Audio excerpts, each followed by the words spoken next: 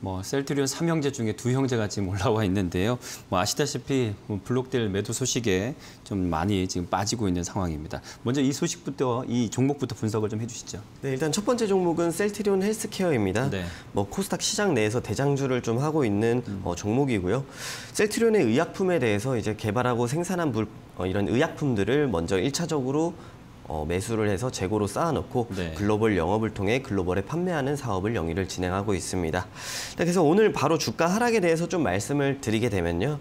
일단 오늘은 좀 이슈가 있는 상황입니다. 어제 저녁에 이제 어, 이 싱가포르 국부펀드의 어, 블록딜 매도 소식이 전해졌는데요. 네. 대략 거의 1,700억에 가까운 이러한 매도 소식이 전해졌기 때문에 역시나 또 이런 싱가포르의 이런 국부펀드가 다시 셀트리온 그룹의 주가 상승에 발목을 잡았다고 좀 말씀을 드릴 수 있을 것 같고요.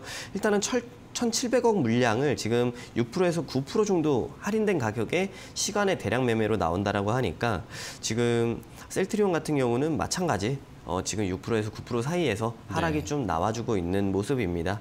그래서 일단 전체적으로 블록딜 매도라는 게 지금 어, 대량 지분을 한 번에 시간에서 매도를 하는 것이거든요. 그래서 어떻게 보면은 대주주들이 매도를 하기 위해서는 어쩔 수 없는 과정이다라고 보시면 되고 이 블록딜 매도가 사실 고점에서 출회가 됐을 때는 주가의 고점이다라는 인식들이 많았었거든요. 근데 이제 이번 셀트리온 헬스케어 블록딜을 보시게 되면 지금 바닥권 거의 뭐 5만 9천 원에서 7만 원대 박스권 사이 에서 뭐 박스권 고점이긴 하지만 사실 거의 상당한 저점 구간에서 블록딜이 나온 상황이기 때문에 사실 고점이라는 우려감보다는 이제는 이렇게 물량이 지분이 좀 정리가 되었기 때문에 그러한 완화감으로 좀 이어질 수 있지 않을까라는 내용들이 많아지고 있는 상황입니다. 네. 그래서 셀트리온 헬스케어 지금 하락이 이러한 내용들 때문에 좀 나오고 있다라고 보시면 되고요. 근데 이제 우리가 봐야 될 것은 이러한 부분보다는 어 이제 앞으로의 이슈를 좀 체크를 해야겠습니다. 네. 그래서 제가 지난번에서도 이렇게 셀트리온 관련된 내용들을 좀 많이 말 씀을 드렸었는데 바로 이제 분식회계 분식회계. 이슈였죠. 네. 네. 분식회계 이슈가 있었는데 분식회계 이슈 같은 경우가 사실 어, 금감원 산하의 이 감리위원회에서 고의적인 이런 재고 조작을 통해서 상장을 진행을 했다라는 내용을 좀 어, 의혹의 제기를 한 거잖아요. 네. 그래서 이 부분 사실 저는 계속해서 상관없다라는 내용들을 좀 말씀을 드리면서 안심을 시켜드리려고 많은 내용들을 전달해 드렸었는데요. 네. 일단은 마찬가지 뭐 어, 우리 증권거래위원회에서 고의성은 전혀 없다라고 발표를 하면서 과징금 처분을 받았습니다. 네. 그래서 과징분 과징금 처분을 받으면서 어느 정도 거래 정지나 상장 폐지 이러한 우려감에서 완전히 벗어났다라고 보시면 되고요. 아마 3년 정도 강한 하락이 나왔었던 그러한 주가 악재 요인이 이렇게 좀 소멸되었다라고 보시면 좋을 것 같습니다. 그리고 이제 우리가 이제 여기서 이제 체크해야 될 것은 네. 죄송합니다. 체크해야 될 것은 사실 펀더멘탈이잖아요. 그렇죠. 이제는 네. 가장 중요한 이슈들이 좀 마무리가 되어가는 과정이기 때문에 여기서는 펀더멘탈을 좀 집중을 해야 될 것 같다라고 말씀을 드리고요. 실적이 작년 같은 경우는 매출액이 최고치가 나왔습니다. 거의 1억 1조 8천억 정도 나왔었는데 음. 매출액 최고치 갱신은 좋았지만 영업이익이 많이 어, 훼손되면서 2천억 수준의 영업이익이 나와 주었었고요. 음. 다만 이제 올해부터는 어, 영업이익도 거의 1억 9, 아, 1조 9천억 그리고 2조 가까이가 달성이 예정이 되고 있으면서 네. 영업이익도 2,800억 수준으로 어, 전년도 대비 거의 40% 이상 성장이 예상이 되고 있는 상황입니다. 그렇기 때문에 지금 시장이 많이 어렵잖아요. 글로벌 이슈로도 상당히 우려스러운 상황이고 그리고 주가도 많이 빠져 있는 상황에서는 어, 필히 우리가 좀 투자를 해야 되는 종목들은 앞으로 펀더멘탈적으로 실적이 강할 수 있는 종목들을 공략해야 된다라는 말씀을 드리고요. 이러한 포인트로 봤을 때 이러한 셀트리온 헬스케어라는 종목은 상당히 좋은 포인트로 접근을 하실 수 있을 것 같습니다. 그래서 이렇게 어, 셀트리온 헬스케어 버텨도 된다는 의견을 좀 드리도록 하고요. 매수가는 현재가 제시드리고 목표가 12만 원, 손절가 5만 9천 원 안내 드리도록 하겠습니다. 네. 뭐 셀트론 헬스케어 일단은 뭐 블록딜이라는 단기적인 그 재료 때문에 좀 오늘 빠지고 있는 것인데 하지만 펀더멘털 측면을 봤을 때 지금 좀 주가가 많이 빠졌을 때가 오히려 좀 매력적일 수 있다라고 보시는 측면 참고하시길 바라고요. 매매 전략까지 좀잘 어, 눈여겨 보시기 바랍니다. 자, 두 번째 종목 분석 드리겠습니다.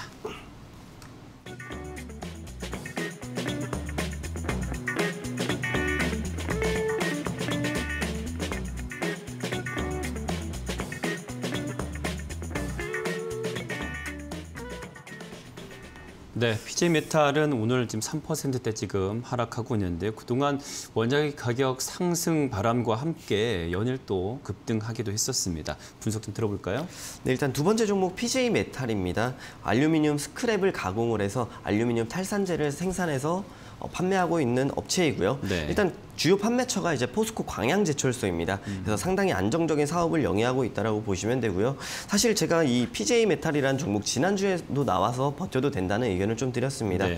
그 이유가 이제 인플레이션 관련해 가지고 어, PJ 메탈은 알루미늄 가격 영향을 받으면서 지속적인 상승이 좀 이어질 수 있다라는 안내를 드렸었는데요. 그러한 타이밍에서 지- 지난주 어, 강한 흐름이 한번 나온 다음에 지금 조정이 나오고 있어서 제가 다시 한 번 더 PJ 메탈이라는 종목을 준비를 해봤습니다. 네. 그래서 일단 어, 알루미늄이라는 게 가장 대표적인 뭐 이 원자재이기 때문에 지금 시장이 투자자들이 가장 주, 주목하고 있는 게 인플레이션 관련 이슈잖아요. 네. 그래서 그렇기 때문에 계속해서 이제 원자재 관련주들은 집중을 할 수밖에 없다라고 보시면 좋을 것 같고요. 네. 주요 사업을 말씀을 드리게 되면 어, 알루미늄 탈산재라는 어, 제강 공정에서 산소를 제거하는 데 쓰이는 과정 어, 아이템이거든요. 네. 그러한 부분을 생산을 해서 납품을 진행하고 있다라고 보시면 되고 알루미늄 빌렛이라는 중간재를 어, 압출하는 업체에 공급을 진행하고 있다라고 보시면 되겠습니다. 네. 당연히 두 제품 모두 이제 원자재 관련된 아이템들이기 때문에 가격 전가가 상당히 강하게 진행이 되고 수익성이 높다라고 보시면 되고요. 그렇기 때문에 실적이 아주 좋습니다. 실적이 아주 좋은데 지난해 뭐 20년도나 21년도 실적을 좀 보게 되면은 20년도 실적이 영업이익이 60억 정도였습니다. 네. 근데 이제 21년도 영업이익이 어, 250억 정도를 달성을 하면서 거의 매출액이 삼, 어, 영업이익이 300% 정도 그러네요. 성장을 했다라고 네, 보시면 네. 되고요. 이러한 부분이 결국에는 인플레이션 가격 상승으로 인한 수익성들이 고스란히 좀 반영이 되었다라고 보시면 좋을 것 같습니다. 그리고 이제 또 앞으로 좀 봐야 될 게 지금 주가가 일부 최근에는 조정이 좀 나왔었는데요. 이러한 이유가 알루미늄 가격이 어, 고점을 갱신을 한 다음에 조정이 네. 나오는 상황들이었습니다. 그 구간에서 이제 제가 종목을 가져왔었고 또 오늘 가져온 부분인데 네. 이제는 다시금 알루미늄 가격이 또 상승세로 치고 가려는 타이밍이 오고 있다라고 보시면 좋을 것 같고 그리고 어 이제 러시아와 우크라이나 관련된 지정학적 리스크 속에서 우리가 체크를 해보면 네. 미국 쪽이 지금 이 알루미늄 생산 2위 국가인 러시아의 루살이라는 업체를 지금 규제를 제재, 할수 네. 있다고 어, 얘기가 나오고 있습니다. 그렇다 보니까 어느 정도 알루미늄 가격 어, 움직일 수밖에 없는 상황이고요. 그리고 유럽 쪽에서도 지금 알루미늄 수요가 상당한데 이 부분들이 지금 어, 인플레이션이나 이런 부분들로 인해 가지고 그리고 또 코로나 관련된 이슈들로 인해 가지고 생산이 좀 차질을 빚고 있다. 네. 이렇게 보시면 좋을 것 같습니다. 그리고 알루미늄이라는 게또 2차 전지나 어, 전기차 이쪽으로도 수요가 계속해서 그렇죠. 늘어나고 있기 네. 때문에 전체적인 알루미늄이라는 이런 원자재가 수요가 결코 적지 않고 계속 늘어나는 추세라는 점까지도 우리가 어, 되게 중요하게 체크를 좀 해야 될 것 같네요. 네. 그래서 이제 차트를 보시게 되면은 어, 지금 지난주 뭐 지난주가 아니라 3월 4일 고점이 6,900원 부분까지 상승한 다음에 조정이 나온 상황인데요. 다시금 눌림목에서 상승 추세가 나와주고 있는 상황이고 오늘은 눌림목 과정입니다. 그래서 이러한 어, 업황이 되게 좋고 인플레이션이 시장에서 주목되고 있는 상황에서 네. 알루미늄 관련주 한번 집중을 하시면 좋을 것 같고요. 눌림목에서는 항상 기회가 될 수 있을 것 같습니다. 그래서 버텨도 된다는 의견을 드리도록 하고요. 매수가는 당연히 현재가 가능하고 목표가는 6,500원, 손절가 5,100원 제시 드리도록 하겠습니다. 네. PJ 메탈이라는 종목 지금 분석해 드렸는데요. 뭐 원자재 가격 상승 무드인 건 여러분 알고 계실 거고 또 각 산업별로 수요도 계속해서 늘어날 것이라는 전망. 그래서 지금 그동안도 실적이 좋았고 앞으로도 실적이 좋아질 것이라는 그런 좀 전망을 하고 계십니다. 매매 전략 참고하시길 바라고요. 이제 세 번째 종목 분석하겠습니다.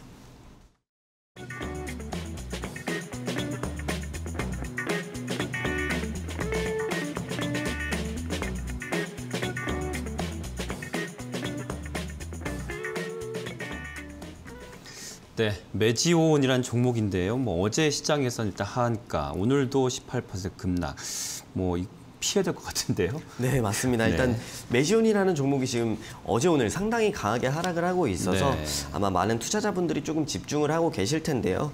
어, 바이오 섹터이고요. 유데나필이라는 아이템을 어, 의약품을 개발해서 지금 임상을 진행을 하고 있었습니다. 네. 그래서 지금 어, 하락한 이유들에 대해서 좀 말씀을 드리게 되면 유데나필이라는 의약품을 개발해서 임상을 진행을 하고 있었고 사실 이 부분이 폰탄 수술 환자들한테 어, 영향이 있다고 해가지고 네. 사실 주가는 상당히 상당히 강하게 흐름이 나왔었던 상황이거든요. 그래서 사실 미국 FDA에서도 승인이 될 것이란 기대감들이 엄청 많았었는데 지금 이번에 FDA에서 불발이 나면서 네. 주가가 강하게 하락으로 전환되고 있는 모습들을 보실 수가 있겠습니다. 그래서 일단 메지온이 개발하고 있는 이런 유데나필에 대해서 유데나필에 대해서 좀 말씀을 드리면 네. 일단은 FDA에서는 이 통계적 유의성, 일차 지표를 제공한 부분에 대해서 통계적인 유의성이 없다라고 전달을 했거든요. 근데 이 통계적 유의성이 없다라는 게 결국에는 어, 신뢰할 수 있는 통계가 아니다라고 이렇게 FDA에서 지적했다라고 보시면 되고 어, 이러한 부분이 이제 우리가 조금 이해를 하려면 어떤 통계적 유의성이었느냐를 말씀을 드리려면 일단 네. 유데나필과 폰탄 수술 이런 부분에 대해서 우리가 좀 이해를 해야 되는데요. 폰탄 수술이라는 게 지금 그 선천성 이 심장 질환이거든요. 네. 아이들이 많이 맞습니다. 네. 그래서 이 부분이 단심실증으로 어, 심장 질환이 애초에 두 개가 있어야 되는데 심장 질환으로 한 개밖에 가, 지지 못한 기형인 이, 거죠. 예, 단심실증 이러한 네. 어, 심장 질환을 갖고 있는 아이들에게 이렇게 진행되는 수술이 폰탄 수술입니다. 그래서 폰탄 수술이 진행이 되게 되면은 사실 능력, 이 심혈관 기능이나 아니면은 운동 능력 이런 부분들은 좀 회복이 되는 어, 편인데요. 음. 네. 사실 근데 이 부분도 어떻게 나이가 들면서 그리고 사춘기가 지나다 보면은 심혈관 기능이 저하가 되고 그리고 운동 능력도 저하가 되기 때문에 이러한 부분들을 이제 개선해 줄 수 있는 게 유데나필이라는 의약품입니다. 네. 그래서 이런 부분을 지금 메지온이 어, 유데나필을 개발하면서 임상 시험을 진행을 했는데 사실 1차 지표 안에 포함되어 있던 게 슈퍼폰탄 환자라고 해가지고 폰탄 수술을 진행했을 때 상당히 긍정적인 효과를 가져오는 환자들이 있잖아요. 네. 아무래도 심혈관 기능이 더 뛰어나고 운동 능력도 더 뛰어난 환자들까지도 이 통계 안에 포함이 되어 있다 보니까 음. 이 FDA에서는 이 통계는 사실 폰탄 환자들을 대상으로 한 음. 건 맞지만 조금 유의성이 좀 문제가 되고 있다라고 이렇게 전달이 되고 있는 상황이고요. 그런 문제 속에서 이제 메지온도 사측에서 한마디를 했습니다. 네. 어, 한마디 한 사- 내용이 뭐냐면 이제 그러면 우리가 이 부분에 대해서 임상은 진행을 했지만 사후 임상이었다. 그렇기 때문에 우리는 임상을 다시 한 번 더 진행을 해서 이런 슈퍼폰탄 환자를 제외한 환자들을 대상으로 임상을 진행하겠습니다라고 발표를 공식적으로 진행을 했고요. 네. 지금 이러한 상황에서 어, 어떻게 보면은 메지온을 투자하고 계신 분들은 단기적으로는 상당히 큰 악재를 만났다고 보실 수가 있을 것 같습니다. 아무래도 이 유데나필이라는 의약품에 대한 효과가 분명히 있는 것은 같지만 이번에 이런 통계적 유의성에서 지적을 받았다라는 것은 바로 문 앞에까지 어, 이 시판이라는 문 앞에까지 가서 이렇게 떨어져 버린 것이기 때문에 또 추가적인 임상을 진행을 하고 또 승인을 받으려면 엄청난 과정들이 또 필요해지잖아요. 그렇기 때문에 일단은 조금 우려스러운 모습들로 계속해서 이어질 수밖에 없다라는 안내를 드릴 수 있고 다만 이제 또 사측에서도 한 가지 오늘 좀 이슈를 만들어낸 게 한 주당 두 주를 어, 무상 배정하는 무상 증자를 진행을 했습니다. 네. 그래서 하락하던 오늘 사실 개파락으로 하 한가에 바뀌어 있었거든요. 근데 여기서 무상 증자를 발표하면서 지금 17% 정도 때까지 상승을 만들어줬는데 이러한 부분은 어떻게 보면 긍정적이다라고 말씀을 드릴 수는 있겠지만 사실 앞으로 추세 자체적으로는 계속해서 하락 추세를 이어갈 수밖에 없는 상황이 나올 수밖에 없다라고 보시면 되겠고요. 그래서 관심이 있으신 분들은 지금 당장 이 메지온이라는 종목에 너무 강하게 뭔가 베팅을 하신다라기보다는 여기서는 조금 더 거리를 두신 다음에 추후 이런 임상이 진행되는 과정들을 보시면서 유대나필이 또 어떠한 과정들이 나타나는지를 체크하시는 게 좋을 것 같습니다. 그래서 손절선을 이탈하면 도망쳐야 된다는 의견을 꼭 드리도록 하겠습니다. 네. 손절가는 7만 원입니다. 네. 자, 메지온 손절 가격 제시해 주셨습니다. 근데 메지온의 지금 수급 같은 것들은 체크할 필요가 없을까요? 어떻습니까? 어, 수급 같은 부분도 당연히 체크를 좀 해야 되겠는데 네. 일단은 지금 이슈 악재가 빠르게 나온 상황이기 때문에 단기적으로 수급이 들어온다고 크게 변화를 줄 수 있는 음. 상황은 아닌 것 같습니다. 그렇기 때문에 일단은 임상 시험에 대한 부분 사측에서 어떻게 대응하는지와 앞으로 어떠한 임상들을 진행을 하고 정말 이 통계적 유의성이 있었던 부분들이 해결이 될 수 있는 부분 인지 이런 전문가들의 이 발표들을 계속해서 체크해 보시는 게 더욱더 중요하실 것 같습니다. 자, 메지온 얘기를 했으니까 뭐 제약바이오 섹터 잠깐만 좀 여쭤보면 워낙 네네. 최근에 이제 코로나 상황들이 조금 예전과의 분위기는 달라지고 있습니다만 예. 그래도 아무래도 또 이런 어떤 임상에 대한 부분들 이게 조금 변화가 있지 않을까 싶기도 하거든요. 어떻습니까? 예, 예. 코로나 관련해서 임상 변화 네, 네, 말씀하시는 네. 건가요? 일단은 제가 그 부분에 대해서까지는 생각은 해본 적은 없는데 제약바이오 섹터 전체를 봤을 때 네. 지금 이제 기존에 보통 암이나 이제 뇌혈관 쪽에 많이 파이프라인이 있었다면 한동안 네네. 이제 코로나가 집중됐었잖아요. 근데 지금 이제 그런 분위기가 바뀌어가니까. 앞으로는 어떨까라가? 는 거죠 제약바이오 섹터가. 어, 일단 제약 바이오 섹터 같은 경우는 이제 AACR 이번에 좀 초록 암흑회가 예정이 되고 있잖아요. 그래서 그 부분들을 통해서 많은 바이오 종목들이 또 지금 시장에서 주목을 받고 있는 상황인 것 같고 실질적으로도 바이오 종목들이 최근에 반등이 크게 나오는 경우들도 많았습니다. 그래서 코스닥 지수가 조금 부진한 상황에서도 코스닥이 강하게 흐름이 나오면서 바이오 종목들이 시장을 견인하는 경우도 많았었는데요. 그러한 부분들을 보게 되면은 사실 종목별로 이렇게 악재 호재는 생기지만 어, 분명히 또 바이오가 한번 강한 상승 흐름까지도 나올 수 있는 준비들을 하고 있다라고 저는 보고 있습니다. 네. 자, 의견 참고하시길 바라고 오늘 와이라는 함께 하신 분은요. 모스틴베스트의 강현우 과장이었습니다. 오늘 말씀 고맙습니다. 수고하셨습니다.